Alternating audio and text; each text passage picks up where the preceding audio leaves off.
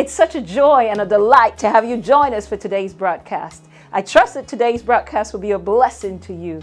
Why don't you sit back, relax, and please don't change that channel and let us see what God has to say to us today.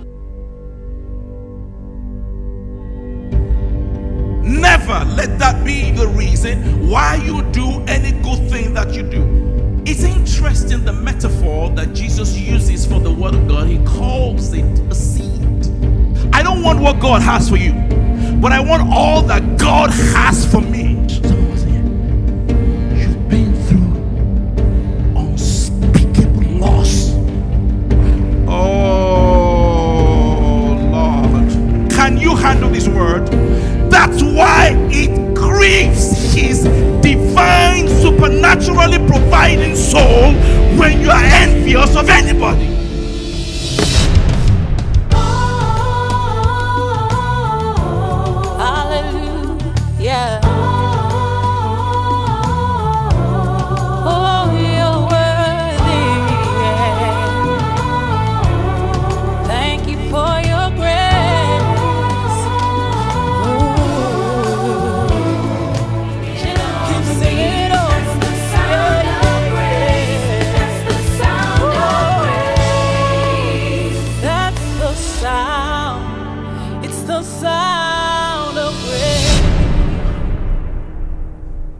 All of the pandemic news and alarms that we're hearing all around us, you have kept us safe and secure. We thank you. We are changed for all of the miracles you've brought us. We give you praise. We love you and we trust you through it all. Hallelujah. Hallelujah. Hallelujah.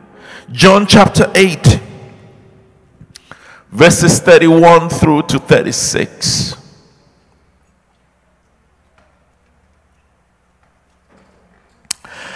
Then Jesus said to those Jews who believed him, if the condition there, the condition there, if you abide in my word, you are my disciples indeed. Verse 32. And it means that verse 32 was spoken within the context of verse 31. You cannot walk in the reality of the truth in verse 31 and ignore what he said in verse 32 and ignore what he said in verse 31 because verse 32 we all hear it everywhere. On our talk shows and secular TV we hear this everywhere. But we must understand the context with which it was spoken. And you shall know the truth. And the truth shall make you free so the truth he's talking about is not somebody's personalized opinion of truth. No, sir. The truth he's talking about is the word of the living God, which we come to know when we abide in that word. Say amen, somebody. And you shall know the truth.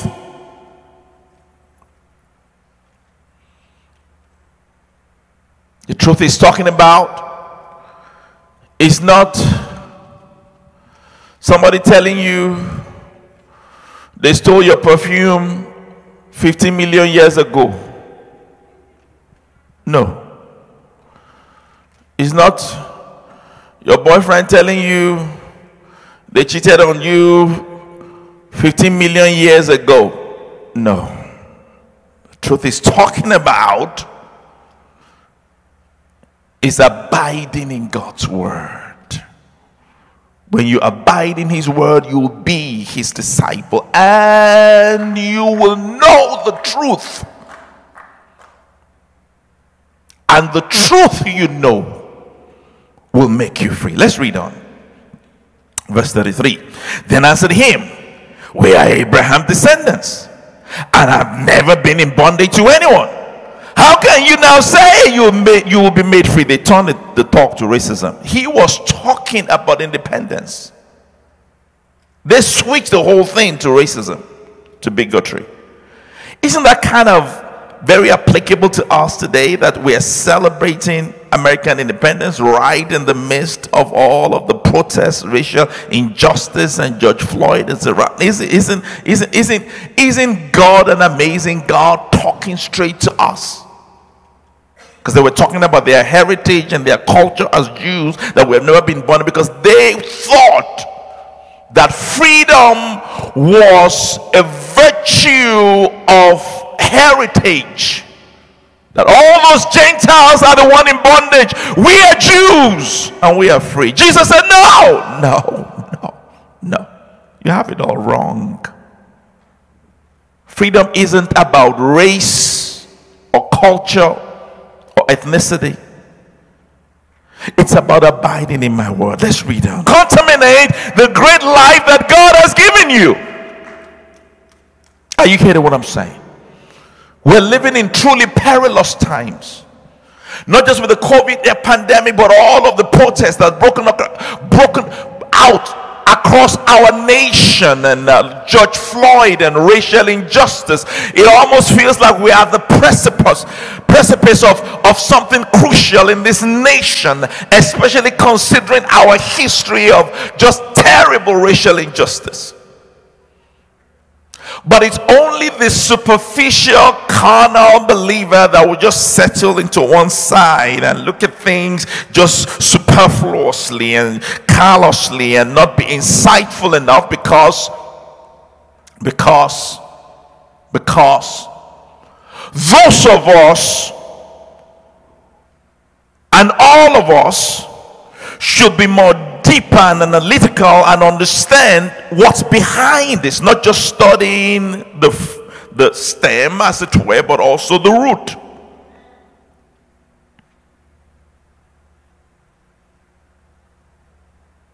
It makes no sense when you decry racism in America because you're black and you support tribalism in Nigeria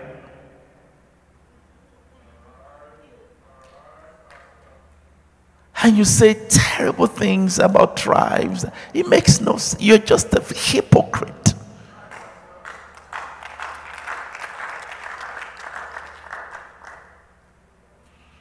And you, you, you, you make you make comments about it's, it's ungodly. It's, it's no different from white supremacy. It's not different. I, used to w- walk in New York with this busy emergency room where this microphone and uh, I will be having my breakfast. I'm just enjoying my breakfast. And usually, all these Jamaican nurses, Jamaica has 2.8 million people. 2.8 million. How many Jamaicans think Africa is the size of Jamaica? I know because they will go on the microphone. Because we had this enclave in the Bronx of a lot of people from, I think, Mali or Chad, one of those places, they speak French. They were speaking French. So they will come to the ER, they can't speak English, they're speaking French. The nurse goes on the phone. Dr. Ajim, me, I'm having my breakfast. Dr. Ajim, can you please come? We have somebody here who is speaking Africa. come and translate. Come and translate. We have somebody here speaking Africa. One day I got tired of teaching all of them individually. I called all of them together. I said, listen, that Africa you call anyhow. You think the size of Jamaica, 2.8 million. Nigeria alone, about 56, 57 countries. Nigeria alone, one country out of them, 200 million people. They said, huh? I said, yes. Yes. And Nigeria alone has over 200 different languages. I said, you see that doctor there, one of other colleague, one Igbo colleague that used to work with me? Ah. Uh, yeah, 506. I'm, I'm even just even making it easier for them. I'm making it easier. 506 different dialects, yes. So you see, you see, you see that doctor. I said, if I want to communicate with him, I have to communicate with him in English because he can. Uh, uh, I can do some evil though.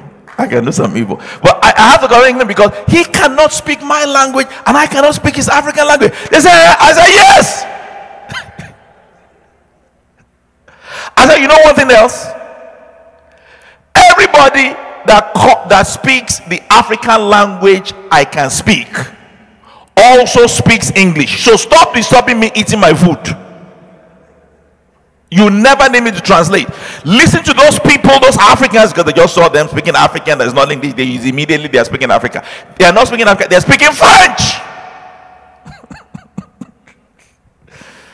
Get on the hotline. You, yeah, we have a hotline for translation of. But to them, anything that's that's not English and not Spanish, and they look African is Africa. We're just speaking French. Praise the Lord. And for many of us that grew up in Africa, thankfully, many of our kids who grew up here don't even know, and they think this is crazy. They really think it's crazy, and, and they're right. It's crazy. Sometimes our children are right. You should listen to them. I always listen to my kids, and when they're right, I apologize. I'm, I'm, I'm sorry. You're, you're right. I don't force. Sometimes they're right because some of the beliefs, convictions. Them, the, the mother will be telling her daughter, they live in Houston, never to marry the son that lives in Austin. It is crazy. It is demonic. It is devilish. It is of not of God. That's how the distance is. If you look at the distance from some tribe to some tribe, you you, you, you must never marry Jebo.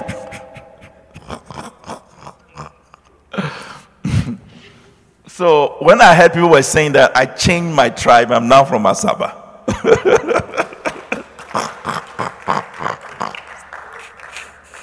Brother Collins, Brother Collins, Brother Collins will let me preach. Praise the Lord. Make, just making, oh, everybody from that tribe is dirty and oh, they are greedy people. It's, it's not of God. That kind of thinking and talking should not be found in our mouth as children of God. It's not. Jesus said, in Christ Jesus, there's neither Jew nor Greek. That means Jesus came to dismantle racism. There's neither bond nor free. That means he came to dismantle socialism. There's neither male nor female. That means he came to dismantle sexism. God is not a sexist, neither is he a racist. For you're all one in Christ Jesus. That is in your Bible. Anybody that's telling you slavery supported in the Bible is a liar and you're a fool for listening to them. Oh, the Bible says, oh, the slave must uh, uh, uh, support the master. So the Bible supports slavery. First of all, I didn't read in there that it said the black slave must support the white master. You are the one putting that there. Secondly, he didn't mean the kind of slavery that they went to Africa and put, put people in chains. That's not what he was talking about. You can read it in context. That's not what Paul was talking about. Praise the Lord. And that one he was talking about, he was talking about Jewish people. All of them were one race.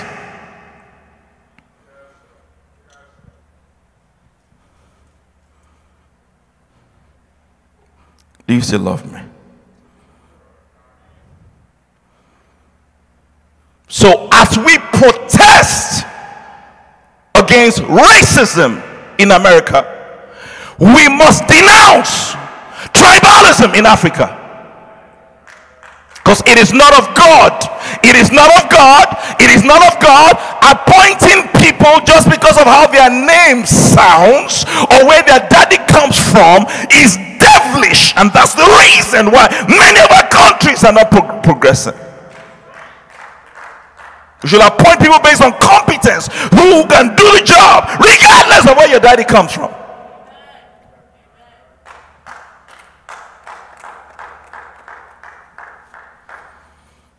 Praise the Lord.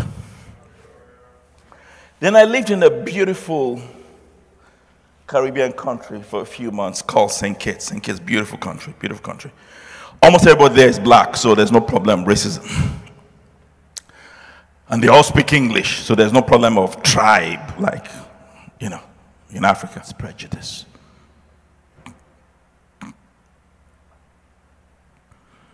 Thank you, Lord. Satan doesn't mind us living, he minds us being free. In fact, he doesn't even mind us just being set free. Set free means you're free for a while. Most of us have enjoyed what it is to be set free. Free for a while. That's why many of us love church. Because when we come in the church, we're coming into the presence of God. Have you ever noticed? You don't have to tell me. I know you have no struggles, but for those of us who struggles, praise the Lord. That's what I'm talking about. that when you come to church, whatever it is your own brand of struggle is, is as if you get relief. I don't care if it's depression. When you just come to church, you feel you feel fine. Maybe your own is pornography. When you come to church, in that thought never comes to your head. You know why? Because you are in the presence of God.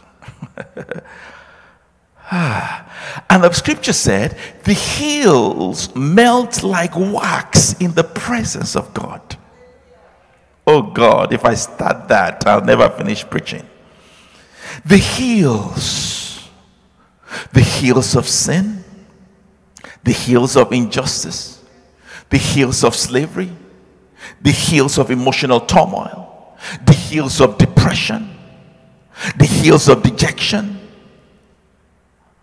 The only reason why Satan is able to, to, to embondage us with those hills is because we are not walking strong, we're not creating the presence of God strong enough around us. When you bring the presence of God into that thing that heals has got to melt like wax. So Jesus gives the insightful believer who is totally dissatisfied with just being set free and really, really wants to walk in freedom. I have one life to live, I've got to live it. I've not always had a great past, but I want to enjoy my life. Did you know that God died so that you could enjoy your life. Stop listening to anybody who's making you feel funny because you're enjoying your life. The devil is a liar. God wants you to enjoy your life. And why is that so hard for you to understand? Those of us that are those of us that are loving parents. Only wicked parents want children to have miserable lives. Those of us that are loving parents, we want our children to have great lives. We will do anything for them to enjoy their lives. So if you can believe that about you, why are you finding to believe that about God? He wants you to enjoy your life. He hates it when you're frustrated and when you're depressed and when you have all of this turmoil and all of this inner God hates that.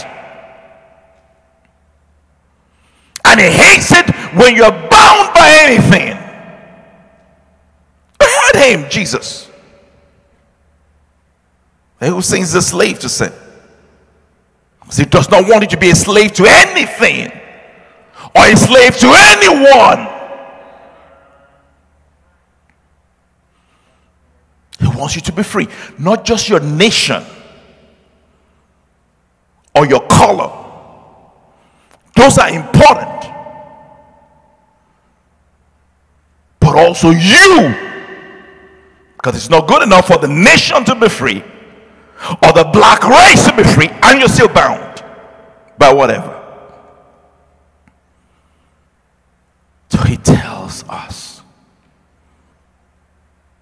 that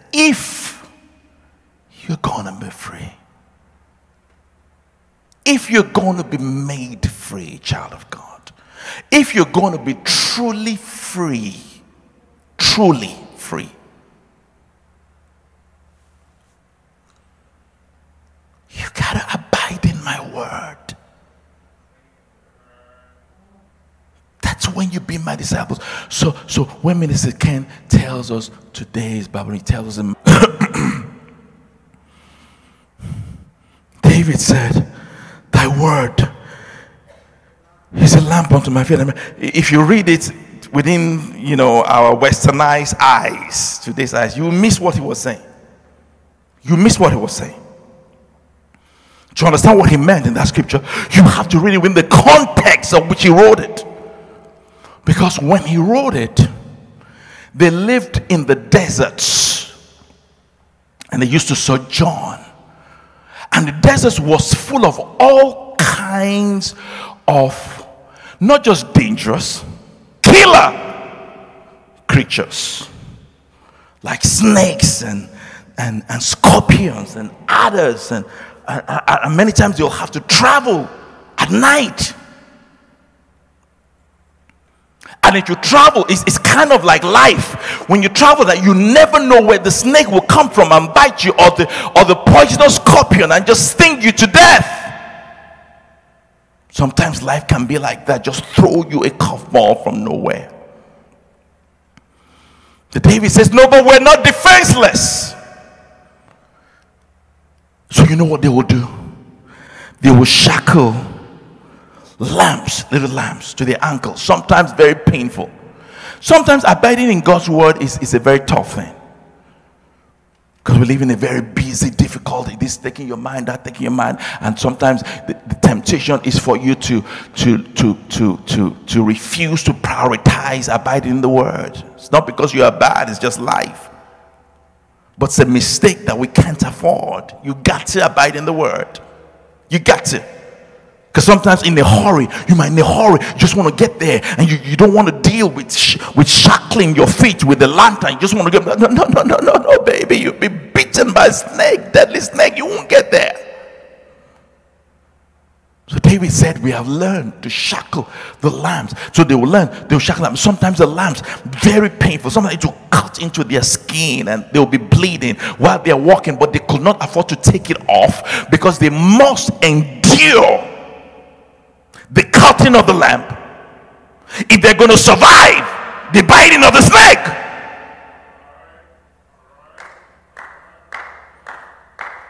Now, here's the thing about the lamp it was never bright enough to reach down the block, but it only lighted enough for them to take the next step. Ah, thank you, Jesus. Oh Lord, just give me enough light to take the next step. Give us this day our daily bread. He's not going to give you tomorrow's bread today. No, that's what you want. So that because tomorrow you don't want to walk by faith, not lie.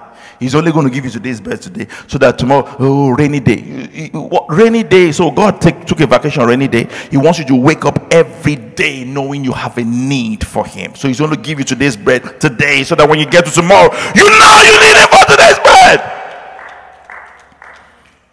So the lamp only light enough to take the next step. And that's what I need you to know. That's what I need you to know. Sometimes you don't know. That's what the enemy wants to do. He will cripple your mind about a problem that's not even there. What's going to be there? What's going to happen next year? What's going to happen 25 years? What's going to happen with my immigration? What's going to be the lawyer I got, to, the letter I got from where we used to call it INS. What's it now? USCIS. USCIS just wrote me. They're going to deport me. That he will. He, he wants to kill you from enjoying your. The problem is not even there. And there you are. You can't even enjoy what God has done today. So what, what, what, do I do? Pastor, just lay it on the Lord and just take today's step. That's all you got to do. That's all you got to do. Just take the next step. Just keep walking. Just keep living. Don't stop. Don't stop. Stop worrying. Stop letting stress, attention, uh, uh, stress, uh, and. and Because sometimes it's the stress that will kill you, not anybody deporting you anywhere. It's the stress, the worry. Just decide, I'm going to keep walking. I'm going to walk on. Because God is not obligated to show you the step you're going to take next year. He only promised to show you the step you will take today. So, so David said, Your word is like that lamp unto my feet and a light unto my path. Just light enough for me to take the next step. Light enough for me to take the next step. Oh, I don't know how I'm going to end up. Just take the next step. Oh, I don't know what my future is going to be. Just take the next step. Oh, I don't know if I'm going to make it with this husband. Just take the next step. Oh, this child is acting wayward. What? Just take the next step. Oh, oh, this job is. Just take the next step, baby. Take the next step. Take the next step.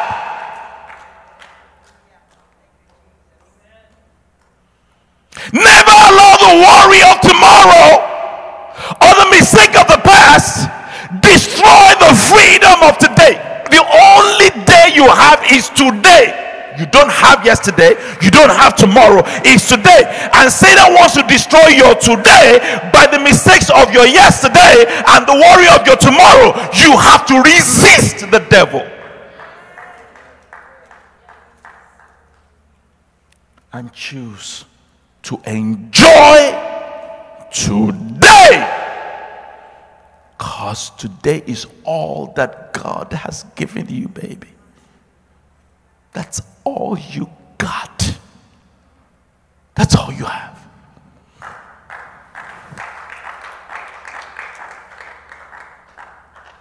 Hallelujah. You shall know the truth. I titled this True Freedom. Just decide to be enveloped within the twin context of abiding in His Word and abiding in His presence. Abiding in His Word, abiding in His presence, abiding in His Word, abiding in His presence is the secret of living a life of perpetual freedom. That's how you're made free. May God make you free today. Wherever it is you're watching me. So thankful for the opportunity to be able to come to your home, your office, or wherever it is you're viewing this broadcast. Now, if you don't know Jesus, can I pray with you? Just say this simple prayer after me. Say, Lord Jesus, come into my heart. Come and be my Lord. I receive you today. In Jesus' name. Amen. If you've prayed that prayer for the first time, please call to let us know. Our phone number is on the screen. We would love to pray with you. Or if you want us to pray with you concerning anything, we would love to agree with you in prayer. But be kind to go onto our website, call into our church office, let us hear from you. We would love to pray with you. Additionally, if the message has been a blessing to you and you want the message in its entirety, for a small donation to the ministry, we will rush the CD or the DVD to you. Call in, let us know, we'll get it down to you. And if you're ever in the Houston area, we would love to have you fellowship with us at Grace International Church. Look forward to seeing you. And remember these words from Romans chapter 5, verse 17. The B part says, And we who have received abundance of grace and the free gift of righteousness shall rule and reign in Christ Jesus. We will be back at this same station at this same time next week to bring you more word from the Lord. We love you. God bless you.